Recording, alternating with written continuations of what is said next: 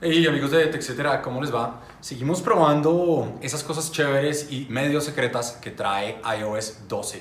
Y en esta ocasión voy a hablarles de una aplicación que me gusta mucho que se llama Medición.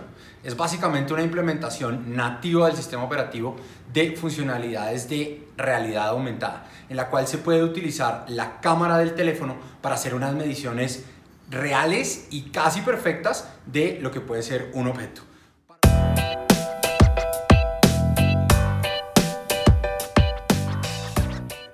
Para usarlo, sencillamente abrimos la aplicación de medición y él nos va a pedir que hagamos un paneo de el sitio donde estamos. Y una vez lo encuentra, sencillamente podemos ir a medir. Entonces, por ejemplo, lo que quiero medir es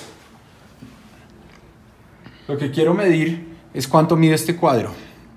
¿Sí? Y miren que él automáticamente encuentra el cuadrado. ¿Sí? Voy a echarlo un poco para atrás y le digo, sí, ese.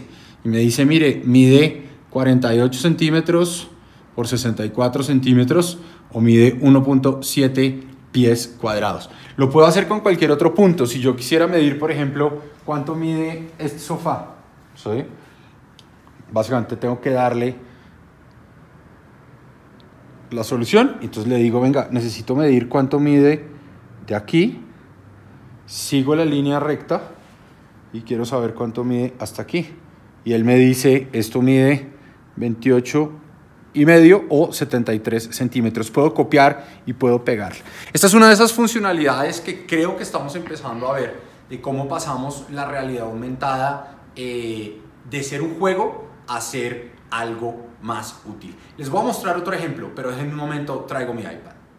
Con el iPad y la misma aplicación quiero mostrarles la exactitud porque algunos usuarios nos han preguntado qué tan exacto es. Entonces, si ustedes miran, lo que voy a hacer es que voy a tomar, por ejemplo, esta posición de comienzo en 30. ¿sí? Y mido, voy a medir hasta el final de 47.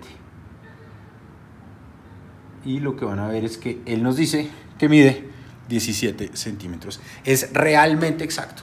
Y creo que así como hace algunos años usábamos linternas y ya casi no usamos linternas porque tenemos la linterna de nuestro celular, va a pasar un poco con los metros eh, y con las reglas cuando vayamos a poder hacer todo directamente desde nuestro dispositivo iOS. Esta es una de esas tres cosas súper interesantes que hemos encontrado en iOS y de las cuales les estamos contando. Hasta la próxima.